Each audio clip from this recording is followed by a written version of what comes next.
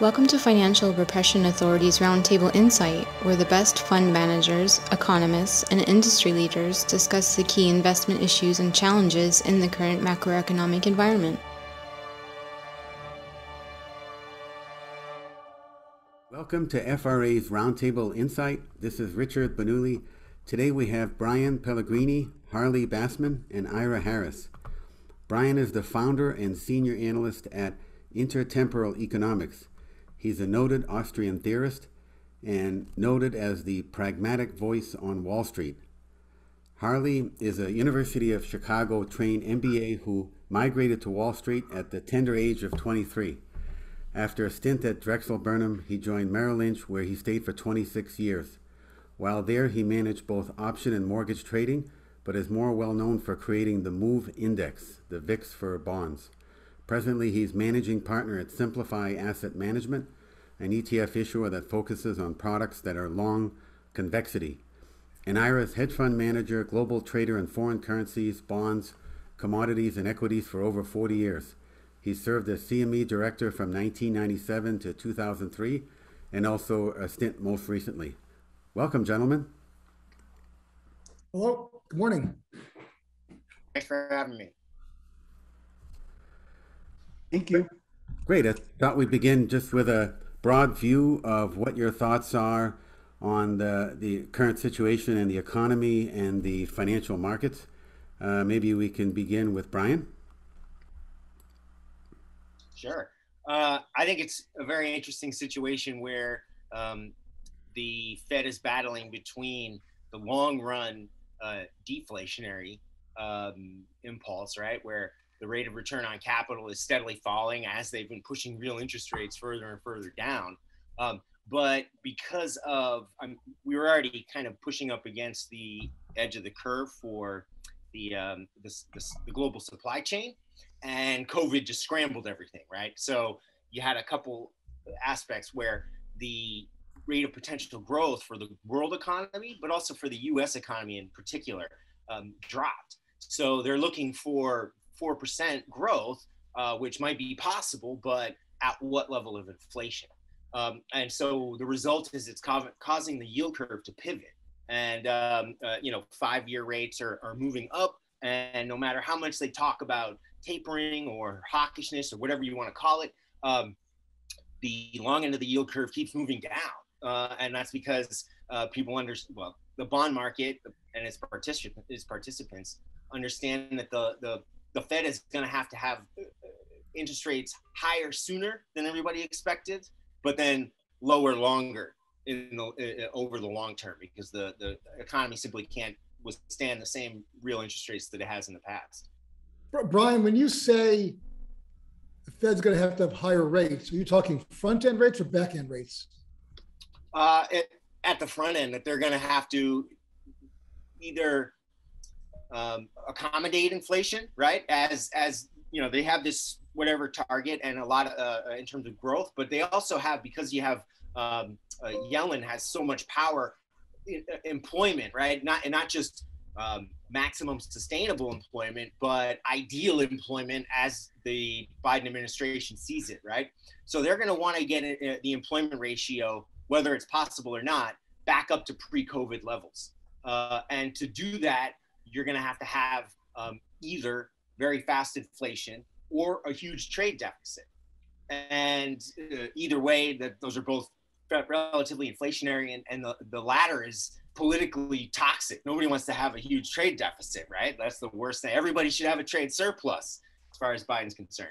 Um, and uh, the the um, so they're going to have to they're going to have to at least talk about raising interest rates. Whether they even actually get to do it is is questionable, but they certainly will have to talk about it. I mean, I, I would push back there. I think it's back end rates that go up, not front end rates. I the front end stays pinned near zero or low, and the, and they let the back end rise and steepen the curve, and which I we'll, we'll talk about a bit later. Yeah. Um, if you want to go just you know touching back to the beginning over here, my I guess call it macro thought per se is um, you know, for, for, for 10, 12 years now, uh, since the GFC, we've had a, a debt problem. We have too much debt.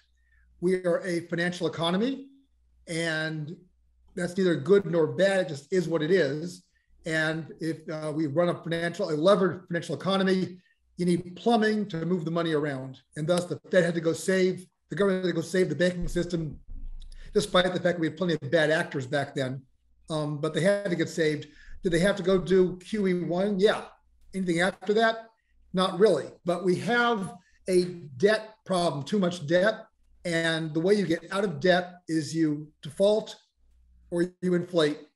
And inflation is a slow motion default. I guess you could also argue that uh, a lot of the 40s and 50s, high growth, growth higher than your debt, will will will burn that down. Also, I don't foresee that happening reasonably, um, but in theory, just to cover all bases that's possible.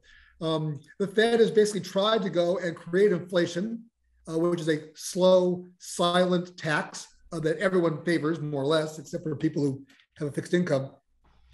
Um, and um, we, we got inflation. We got a lot of inflation. It's just not in wages and services. We got it in, in assets. Um, so those that say that, that, that the Fed is not printing money, wrong. That they can't create inflation, wrong. They can and they did. We have inflation. Had it in, in, in real estate, in stocks, in bonds, in gold, in art, in silver, in, in, in every jewelry, everything has been inflated, which of course has then created, you know, um, massive income or wealth disparity, um, which is a public policy bad. And there's plenty of history about how most uh, wars and revolutions are preceded by, you know, uh, exploding Gini index, a, a wealth disparity index. Um, I suppose, you know, I, guess I've been happy. Uh, I'm not going to cry about this. I've been, I've, I've owned assets. The boomers have been the asset owners, and thus you can call us the the locus of, of, of America, eating everything in sight. Um, I have four kids, and can you know these kids who uh, make a pretty good living, well above you know the average family of four, can they buy a house right now? That's a challenge, man. Um, and, and, and so uh, the Fed's policies um, have benefited some, not others, but I think they have to change. And I think rates going up at the back end is is is um, not the only way to do it, but the best way to do it. But what would happen to the housing market if all of a sudden they stop supporting it, particularly not just mortgages, but 30 year interest rates? I would say that if I take, you know, a certain amount of, of, of some kind of drug, um, that's fine. Right. If I take too much of it, I become either addicted or dead. Yes. Um, and, and, and so dialing back from the overdose money right now back to reasonable money um, what's wrong with that? I mean, I think uh, it, the average home price, I think we might have this somewhere on my slide deck. The average home price now, median home price, 365,000 rough plus or minus. Um, and I'm going to make up numbers. Let's assume someone, nobody buys a house. Well, I'll, buy a house. Sorry, but I mean, no one buys a house. They buy a stream of of, of, of payments, and they will make um, um, something like, uh, uh, let's say they're paying $2,000 a year. That's all they can afford. With rates at 2.5%, with that money, they can buy the average home of 365. Mm-hmm. If rates went from two and a half to three and a half, mm-hmm. What you would see is the average home price. Why don't you go to slide eight? The average uh, home price would drop from 365 to 320 just by that change alone, because people's income do not move that quickly. And so if you look over here, you can see that this acceleration of the red line, which is Case-Shiller home price versus the owner's equivalent rent, that red line would come could become pretty close back to the green line with simply a 100 basis point rate increase. Right. Um, what is the moving factor though? It's not the size of the houses, right? It's the land, right? If you look at the flow of funds index, right, or the system of national accounts, as they call it uh, now, um, uh, the, the the big moving factor is that in in um, the mid 2000s and again now it's a land bubble right so i'm not saying that um, the fed shouldn't you know I, I, don't think that they're going to solve any of their problems by printing money right like i'm, I'm not saying tried.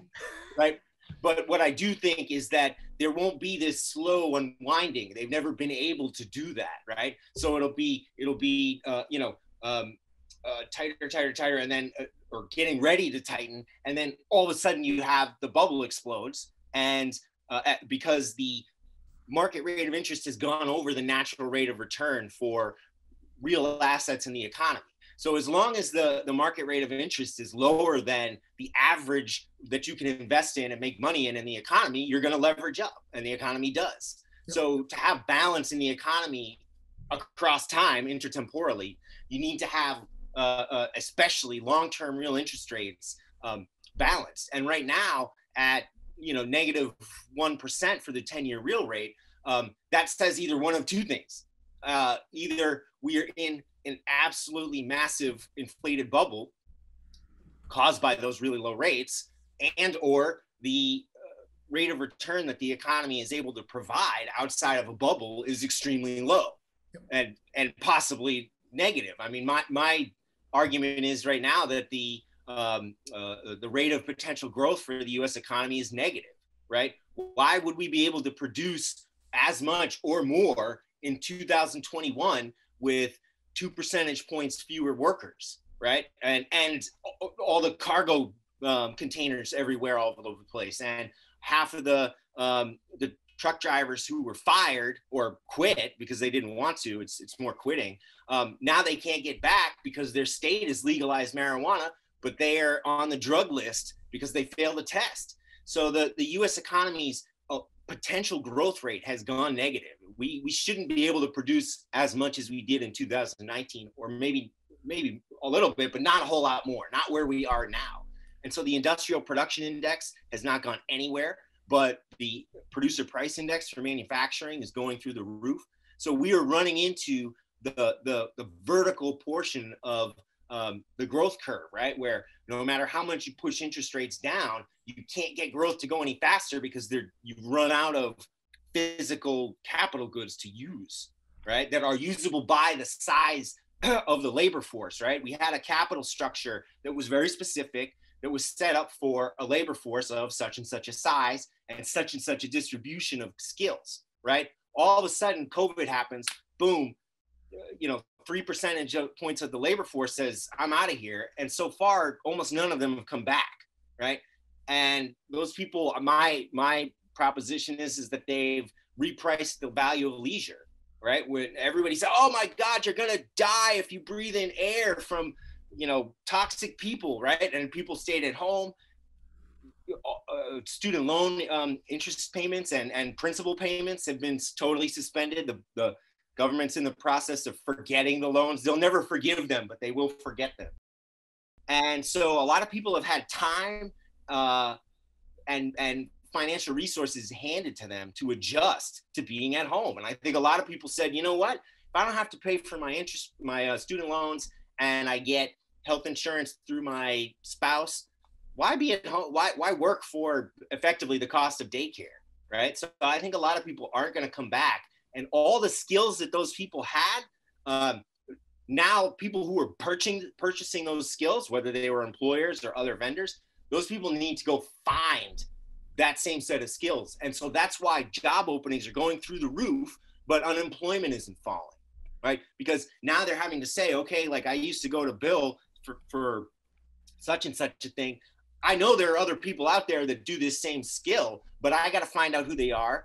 I got to interview them and I got to bid them away from others. And so the, um, the producer price index for employment services is shooting up really fast. It's above where it has been during past um, periods of full employment, so the late 90s and the mid 2000s uh, and again 2018. Um, so I, I, just think we're we've run out of potential growth, and the government and the Federal Reserve don't want to acknowledge that, or they think that they can get potential growth to rise by sort of if you build it, they will come. And I just I don't think that's the case. You're a believer that inflation will be let's call it above three percent come first quarter of next year. This is not a base a base effect.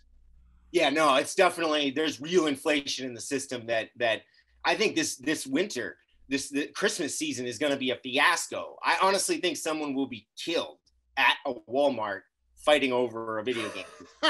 like for real. Like last year or the year before that, somebody got trampled. This this year, someone will be shot because there will not be enough PlayStations. There will be not be enough headphones and iPads. And all think things. the internet will take care of all this. Everyone's gonna buy it on Amazon but they're going to want it. they're going to say, I need to get that thing for my kid so that they can be happy. And people have a really perverted sense of what's important at Christmas. And if you give them all the credit in the world and all the free money in the world from the government, there's this intense pressure to go buy. But at the same time, you can't get enough cargo containers and you can't get enough microchips, right? So how, it doesn't matter what the demand is, no matter what level of uh, prices they're willing to pay, demand cannot be satisfied, right? Because the yeah. supply curve is vertical. So right? going so up to 30,000 feet, yeah, I, I proposed, and I, actually I, the slide is not in my deck, so I apologized, that there's a grand correlation between the labor force growth rate and inflation slash interest rates. Yeah. Um, and thus you saw this huge bulge inflation rates in the 70s and 80s, which was basically the baby boomers working through their highest produ- production and, and, and demand years. As they form a household, they have kids, they buy a house, a washing machine, a car, massive demand from this pig in the python boomer generation, demanding goods from the smaller World War II generation, which few got killed. Um, this is supposed to, and we've been on the down cycle for the last 30 years with rates, but it's been projected that you'll see an inflection point, an increase in the labor force growth rate starting sometime two to three, four years from now, which is a, a, the boomers will stop leaving the workforce because they will have left. Mm-hmm. And the millennials will be increasing. So you get this inflection and we get an increase. And this was you get higher rates. That's my proposal for why demographics will increase interest rates next few years. It sounds like you're saying that no, it's the other way around.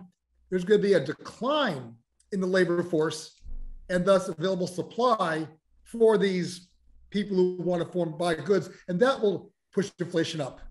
Uh, yeah, I mean, I don't disagree. You you you probably were would have been right if no COVID had happened, right? So yeah, the, the demographic effects are you know pretty pretty um, stable. You watch, yeah, you can watch it happen over time. So no, you're totally right. We were due for a turn just based on population dynamics, but we had this exogenous event uh, that just suddenly changed people's perceptions. I mean, unless there's no sign of people re-entering the labor force who left at high school level, at college level, um, the only places where uh, you know in the white collar sector that hiring is taking place is in the um, um, you know the, the knowledge economy. So the business support functions administrative functions those are not coming back at all right? Well, so why the, is that showing up in, shouldn't when, when they ask the question of are you looking for work? shouldn't you then say no and then drop out of the pool? A lot of those people have but if you sort of looking at two sides of it right if you look at the employment side right the establishment side of the survey, um, uh, uh, the number of people employed in business support functions dropped and never recovered. And I don't think will recover, right? Because there's been a shift in expectations for how much uh, office support you will need. Printing and um, paper manufacturing both fell off the cliff employment and have not recovered at all. But right? you're describing a decline in the participation rate, aren't you? Which, which I, I have no problem with. I'm just kind of nail that yeah. down. So I think there's two. Yes, yes. And so I was saying that for some people, they're they're just like you know tire manufacturers or whatever um, in the past, uh, buggy whip manufacturers, right? For some people, their jobs are gone and not coming back, right? There will never need to be as many printing manufacturers, right? So so those people are going to have to find a new job, and their skill set is much less applicable in the new world than it was in the old. So they might drop out of the labor force as a result of hysteresis, right? Then there's other people who just have repriced leisure, right? So those people have skills. They could and uh, uh, go get a job tomorrow. The labor market's red hot, but they have actively decided I would rather be at home with my kids, with my pets, whatever, watching TV. And the cash flow pressure I faced before is gone, right? Because all those student loans are now, whoop, and because of everybody's on an income-based repayment plan, right? They set a real trap for themselves. Uh, so, right now you pay if you make um, 240 on-time payments, right? The the loan is forgiven, right? So, the last two years there have been loans have been suspended, right? But they counted each one towards your forgiveness. So if you've had a 20, if you took out a 20 year loan, uh, you know, the day before COVID, right? um, or you graduated college, um, uh, uh, then that means you've had 10% of your loan forgiven already, right?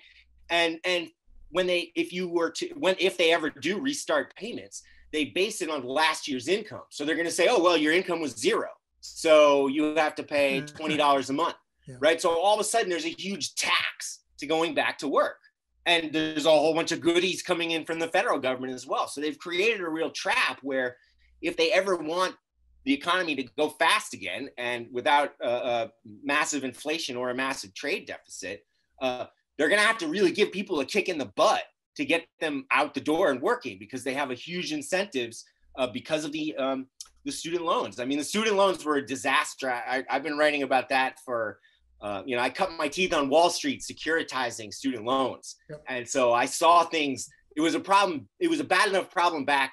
It's always been tough. Richard, do you want to pull us out of the weeds? Um, yes. Yeah, actually, uh, just wondering, uh, Yra, if you your thoughts on some of these issues, if you wanted to. Well, these are these are, for in my mind, and I know Brian's worked very well for years already, and uh, and Harley I've followed for many many years. These are more granular. But I, I was interested, and Brian started going there because I read Brian's missive on uh, Monday. But Harley pushes a steepening of the curve, and I read and I listened to your. Um, first, I had read the paper, and then I listened to that podcast you did with. Uh, uh, um, what's his what's his name from uh, Hedgeye? What's his name? Hedgeye Keith McCullough. Yes. Yeah, from Hedgeye. And you know, I'm I see that totally differently. I see a flattening because I see that the that the Fed, especially this Fed and this White House, is forced into a yield curve control type of game. So we're going back to the 40s and uh, to 51, of course. Uh, uh, and, I, and I think that's that's very important. Now, if the markets were allowed to work, I agree with you, Harley, hundred percent. Because the market would do what the market's supposed to do, which is, as always, push the Fed into raising rates to to stem the curve that they're behind. Right? That's what the market. That's the whole concept of when you were. I, I think we're pretty close in age. Um, I may be a little older, um, but so when the so-called, you know, is uh, what's his name? Uh, Paul McCulley called them the bond vigilantes went after the market and did what they were supposed to do, which is, hey, you guys are wrong. You're just wrong here, and we're going to make you pay a little bit on this. So they would push rates higher, and then the Fed would have to respond to raise the short end of the curve, which and I, and we don't know. You know, I, I saw your six month to eight months we don't really know, and I've looked at this yield curve for so long, we don't really know how to time it. There, there is a time, it could be anywhere to me, four months to 18 months, all the, depending upon conditions around it from the way that I look at, but mine is, it's, it's not, certainly not foolproof, but it's a pretty big gap there. But I do know that it takes raising rates on the short end to flatten the curve historically because the, the market will keep pushing the long end up until the Fed responds or something happens. Yep. There, there's an exogenous event. And this time, I just don't see it because I think they're going to be so desperate. And I think, and I know that we agree on this. We, I, I read your your work, uh, especially the, what you put out after. Uh, I think you were um, part of any large organization. I mean, I, and I could be wrong about that, but but what we would really see is the market would push. But now the market, it's like in Japan. You know, we always watched Japan, and we saw how many intelligent people got short the JGB market, JGB market back in the late '90s. Uh, I was certainly part of that crowd because I was actively trading, and that made perfect sense because all the underlying fundamentals said, well, you know, they're they're growing this debt. So, and people just, you know, as they say, they famously call it the widowmaker.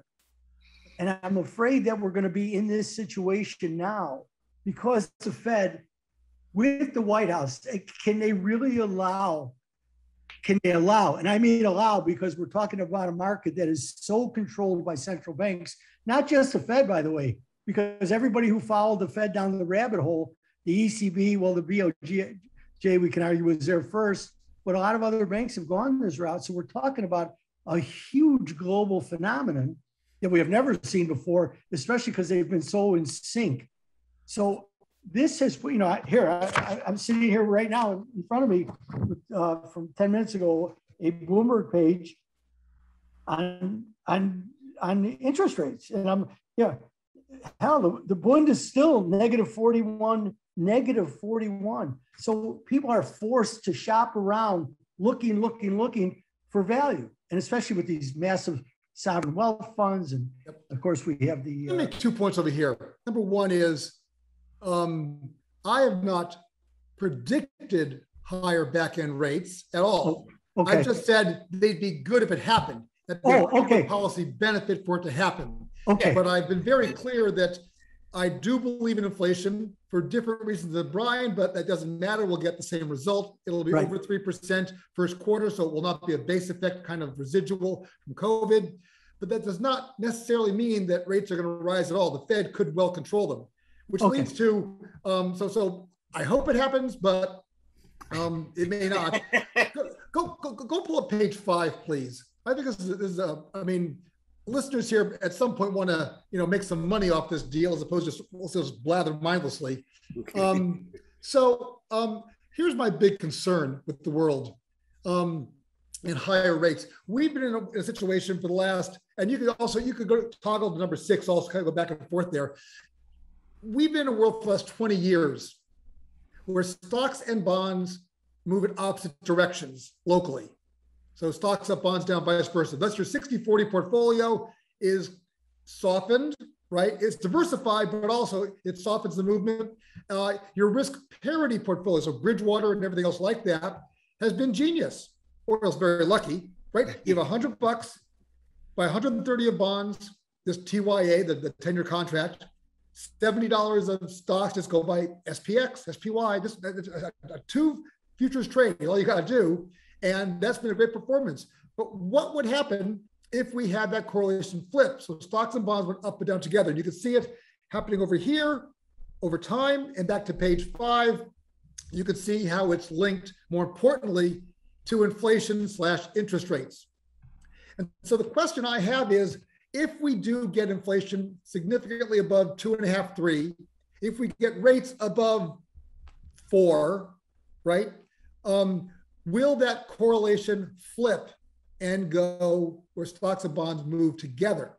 And if that happens in a highly levered financial economy, you will have very sad people.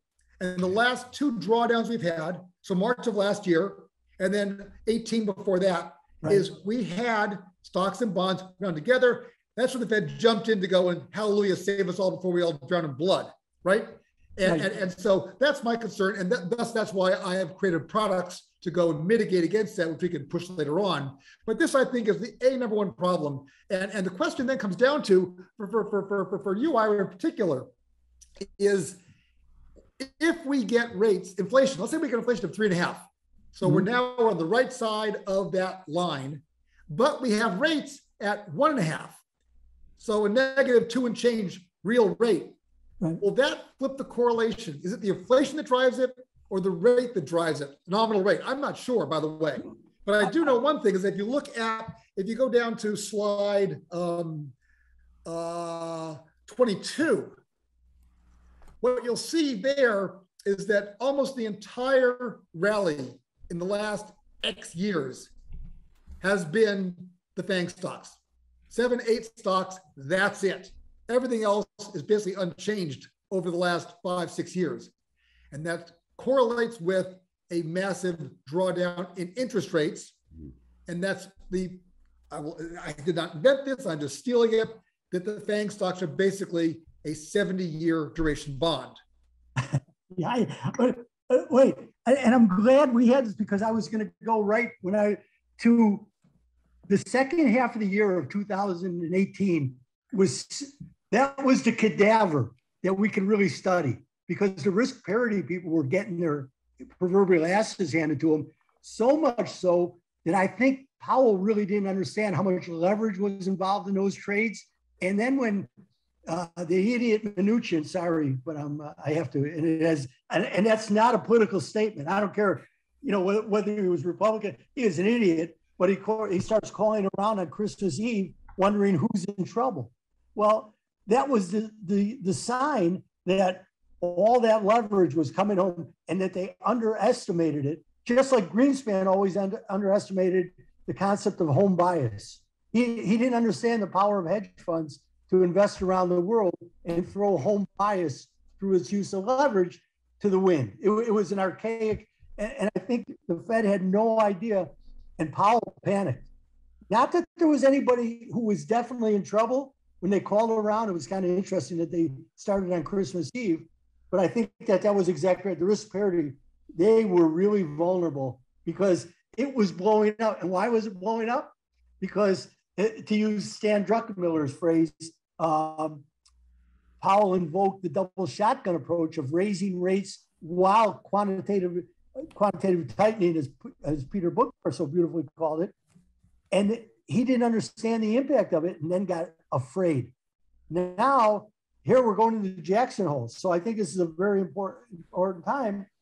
And I think that Powell tomorrow should say, we're starting in September on quantitative, on removing the uh, QE. Good luck in prison on that one, baby. Well, I, I, I understand. well, if they understood markets, it's better to do it now with the equity markets at all-time highs, because then you'll find out what the markets really think rather than trying to tell them.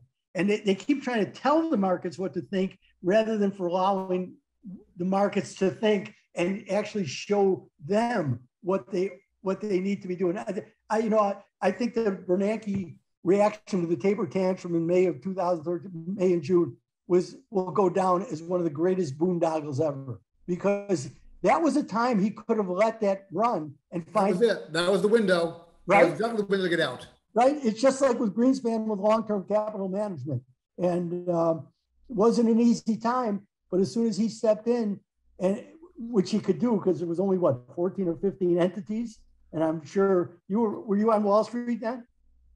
Me? Yeah. Oh yeah. Yeah.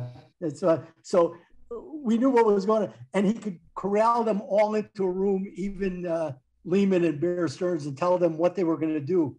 But that ship sailed long, long, long. That was the last time that was going to happen. All it did was set up the game of moral hazard. So I, I, I we're really all in agreement. So I'm glad I had this ability to converse with you because when I read that, I said, see, and I've read your work for so long, and, and really, I have I have great respect for you because you're such no no. I'm not smoking you. You're a good thinker, and out of good thinking comes profit making opportunities. We don't always have to agree, but sometimes in our disagreements, we save ourselves money. Like you may signal something, I go, wow, I didn't think about that. Let me let me step back before I get deeper involved in this. So I, I, that's what comes out of this. This is classically, as you were trained at the University of Chicago, that discourse and not validation is the way to profitability. I mean, I can get validation anywhere. So what's interesting over here is that we now know, we agree that we are in a um, quasi-stable place, put there by the Fed, you know, kind of forcing risk down, the curve down, volatility down, via all these various means and we're and and and Brian, you're proposing, and Yra, you might agree that we're going to have real, honest to goodness inflation coming up next year and continuing. I'm not talking about hyperinflation Germany, but you know, a three handle at least, which is a real number and and and, and well above you know their, their target.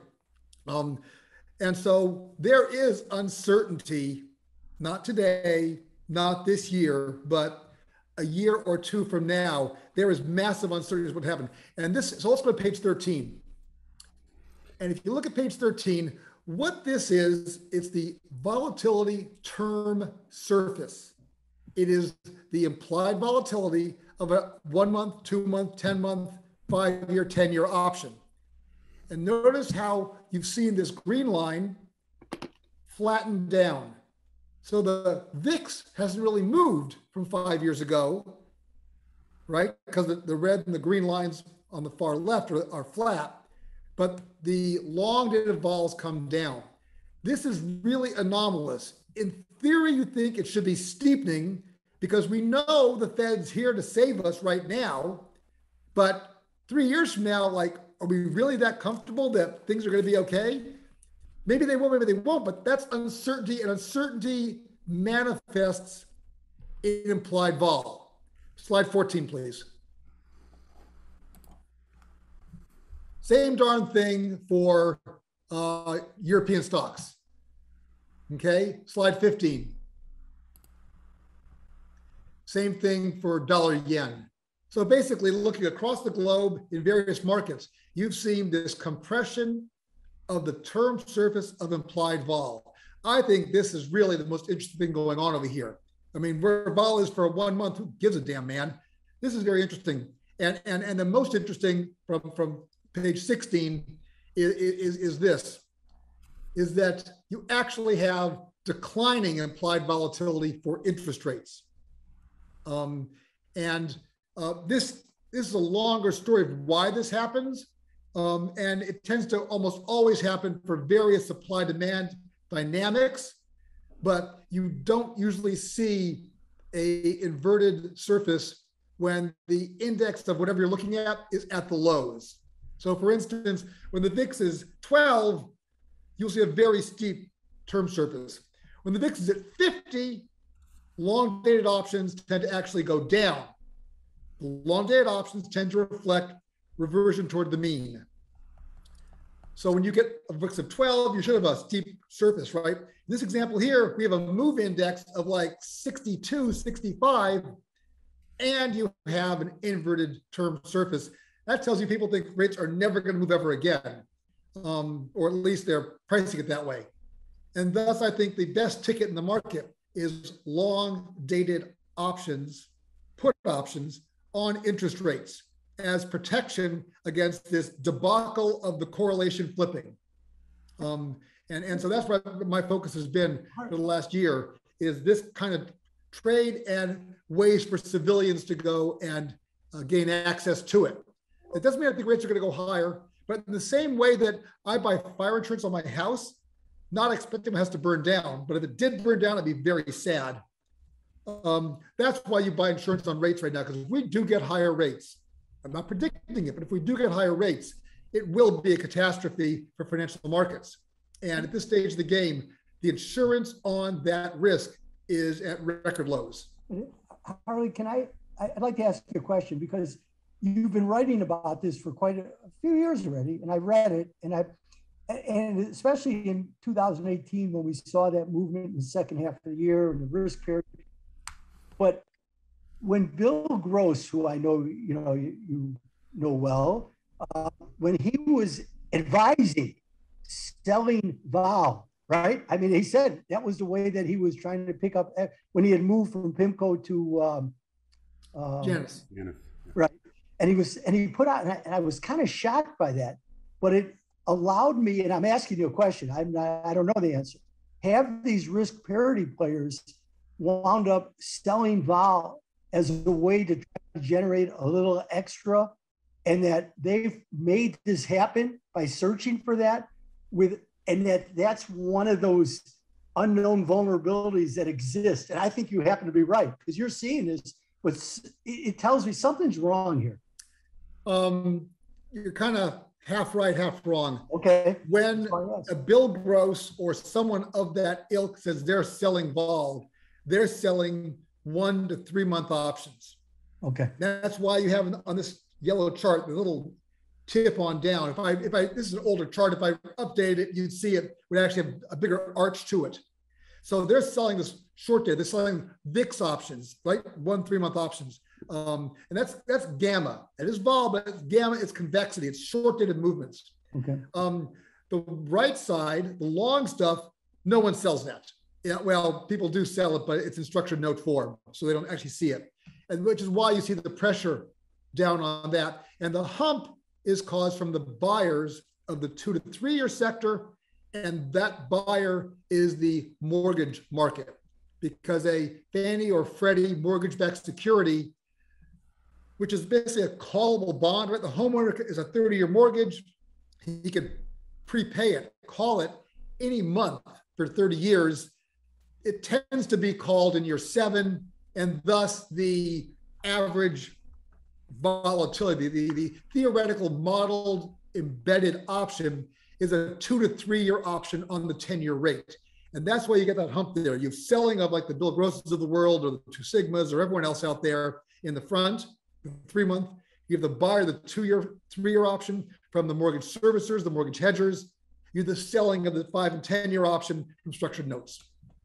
Okay, really, I, I really, I because this is such a weak point in. I mean, I've been trading for 44 years and probably with my education because I was lucky to to really be educated in this. Uh, when I was in school, Bretton Woods had just fallen apart, and I wound up studying multinational corporations and the flow of funds. So I, but a guy who you may well know gave me a three-hour tutorial on the convexity. Fred Arditti, you remember Fred Arditti? He wrote the, the derivatives. I mean, he was at the CME. So one day I, my, I was curling my, my hair thinking, he goes, sit down. And he took, he said, here's my office. He went to his whiteboard and for three hours gave me, he says, you can understand this. I said, I'm not sure I can. He says, I know you can understand it. So, uh, but I appreciate it. It's one of the things I love reading about because it's such a weak point in all my work. And you, you approach it from a global macro way and you get there, which I have great respect for because again, a gigantic hole in my whole trading existence. Well, people, uh, plug for myself. If you care to go read what I was talking about, you can find it at uh, convexitymaven.com. Uh-huh. It's our website, okay. and that's where I have my entire library of what I've written. I wouldn't advise reading all of it, but there's a few, uh, a few, a few choice ones I like. Uh, as my wife says, I'm a, I'm an idiot savant. So it, you know, for me to sit down and do that, that's not. It just I just have to have a big enough bottle of whiskey. and uh, Brian, what, what are your thoughts also on the investment implications of what what we have talked and see here? Uh, I mean, I think there's um, another aspect which is the underfunded pension funds, um, and they are uh, distorting the derivative market a lot. But uh, I, I don't disagree with um, with Harley. There's definitely a a great thesis. Brian, by the way, that's exactly why the Fed should want higher rates in the yeah. back end.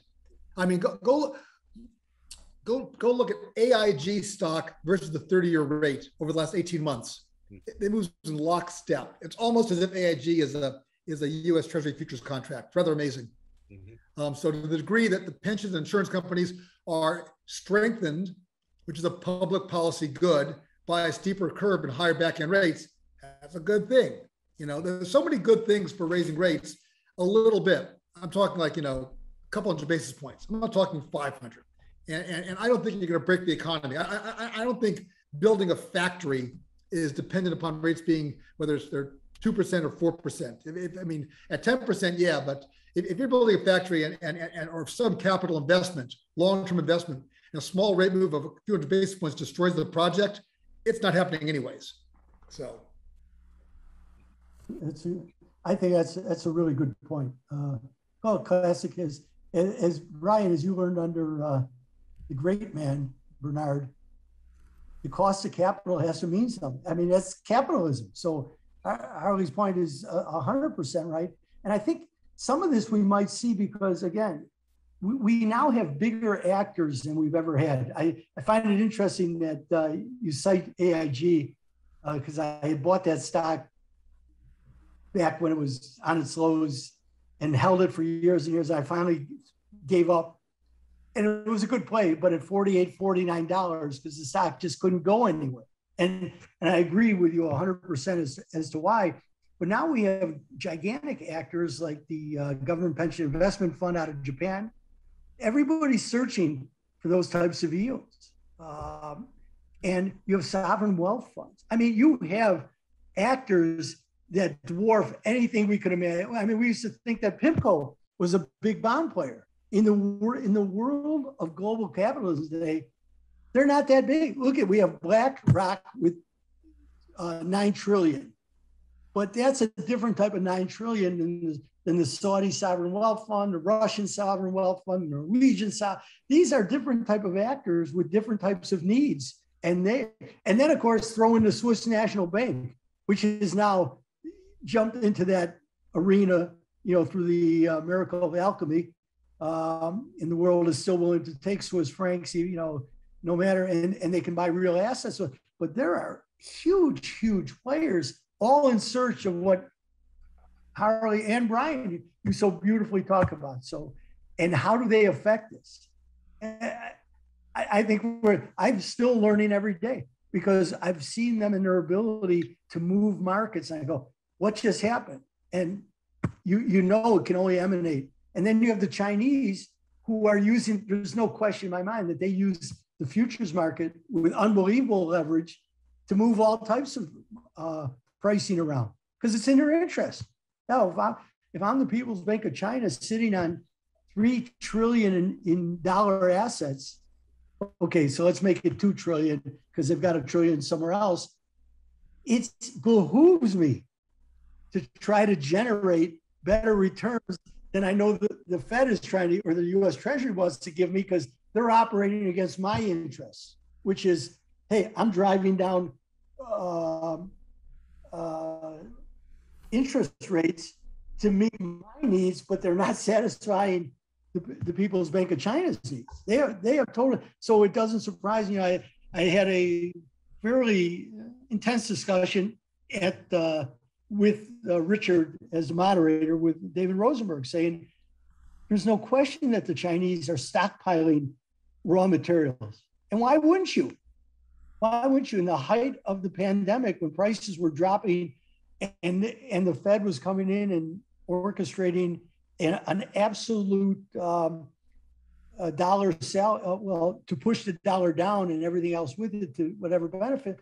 If I'm the Chinese, instead of acquiring Maseratis, uh, Dali, um, Picassos, and everything else, I'm going to buy things that I need and stockpile.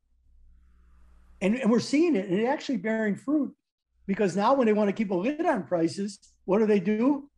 They go to the stockpiles that supposedly didn't exist, and they and they auction them off to their to their firms and and uh, manufacturers who need those goods. They've been doing that with copper, iron ore. So they've actually played this beautifully, and it, and it has an impact. I I don't understand the impact, but I see the impact, and I'm trying to gain a greater understanding of. It. I'm very interested in when they uh, run out of their stockpile of semiconductors. that's, going to be like what I think. The interesting thing about the stockpiling um, for uh, a financial trade war, you know, like um, you know uh, uh, tariffs and whatnot. Um, but there's also this element of when you have shortages, uh, sort of a um, tr- trade war of I'm not going to let you have such and such. Uh, and so the the the supply chain for semiconductors is is very very fragile. So now uh, you're predicting they invade Taiwan because that's the biggest maker of semiconductors.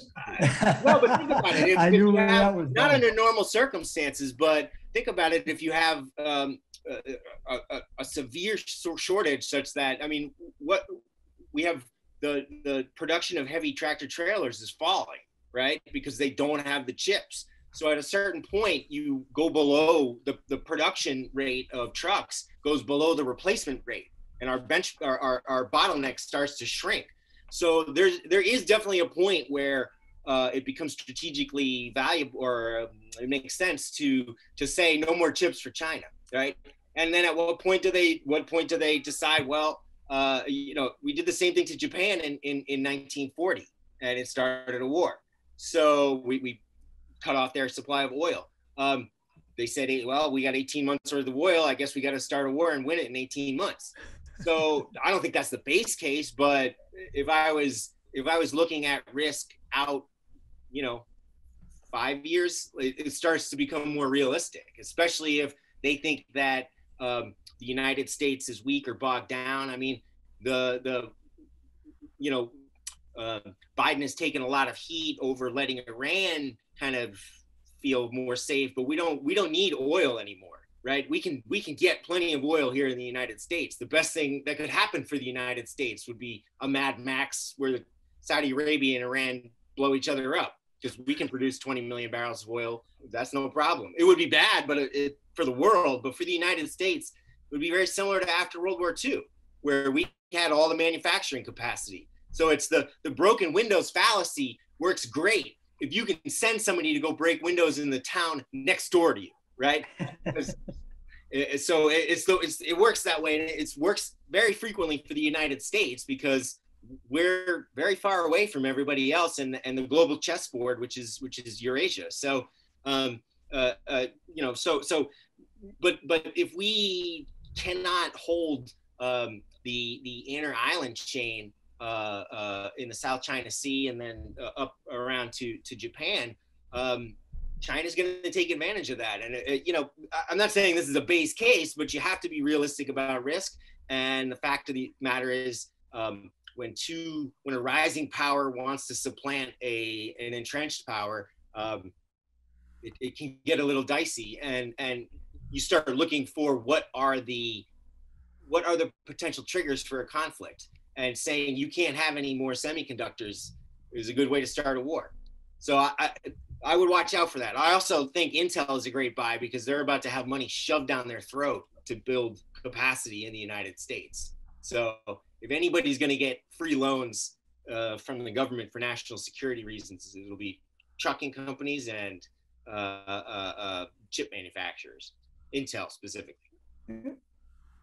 Uh, well, great. Yeah, it's been an insightful discussion. We're coming up to a time constraint here. Just uh, your final thoughts and how can our listeners learn more about your work, uh, Harley? Um, you know, uh, as noted, uh, convexitymaven.com. If you want to go and be on my email list, harley at bassman.net. I'm sitting with Convex with a Simplify Asset Management, which is a very clever firm making ETFs that I really can't mention, although I, we do have an ETF that offers a um, interest rate hedge. So you should go look that up. I designed it. It's pretty clever. Um, and, and, you know, um, we all know what's going to happen. Okay, you can't print money faster than the growth of the underlying economy. We know you can't do that. In you know five, ten thousand years of recorded human history, uh, I have not seen that happen yet. Um, but it can take a long time for it to occur a much longer than our investment lifetimes. And so this idea that the Fed or the fiscal policy or MMT is going to blow up the world or the, at least the financial world next month, I think it's kind of bogus. Could it be? Could it be 20 years? Yeah, it sure could be. Um, it could take quite a while to go and do this. Um, but the idea is to go and be prepared for this possible eventuality, knowing that um, uh, pigs can fly if shot out of a big enough cannon, but eventually they come to Earth as bacon. Great. And your thoughts, uh, Brian, your f- final thoughts, and how can our listeners learn more about your work? Sure. Um, I think it's very important to consider um, the Austrian side of things where you're thinking about the capital structure and not just in terms of financial math. Um, and uh, people who are interested in my work, uh, um, I generally I, I publish uh, to subscribers, but you can check me out on LinkedIn. I have a weekly uh, for free that I put out. And um, if they want are interested in the free trial, they can uh, email info at acrosstime.net. Great. And Yra. I'm just uh, here doing what I do. I, I'm reading everybody else's no, but uh, trading, and uh, I still write notes from underground, which um, is uh, a real tribute to the Austrian school because I the Austrian school has taught me that things are never as as you think that they are. You have to dig deeper. I think you know when you go through the great Austrian minds. Not that I'm of one school. I'm not. I think Keynes brought some great things to the table too. I think he's been bastardized terribly, but there's nuggets to be found everywhere, which is why you know uh, I read Harley, I read Brian. There, I have my things that I have. Um, filtered down. And uh, so I write, and I, am still thinking this is like really a great opportunity.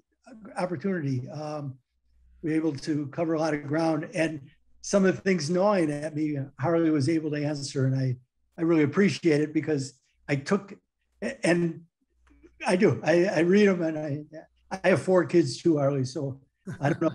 Mine are older than yours, but uh, I know what it's like to raise them through that and to, uh, uh, so I really I appreciate so many things that you you talk about. Uh, so, and one thing that and I know we're not going to get into it, but set for the next time is the this role of the standing repo facility, and does it affect your thinking? I'm just throwing it out there for next time, so it's food for thought because I'm one who thinks that that makes a difference. That, and the fact that it was pushed on the Fed by the G30, and no, that's not a government institution; it's an institution of uh, individuals who we all are aware of, who have a great influence in the world of finance, but they push that on the Fed. So it's interesting to see how that's going to, uh, w- whether or not it'll give uh, Powell a little more intestinal fortitude. Awesome. Thank you so much, gentlemen. Thank you. That's great. Thanks, Richard. All right. Thank you very much. Have a good day. Bye bye.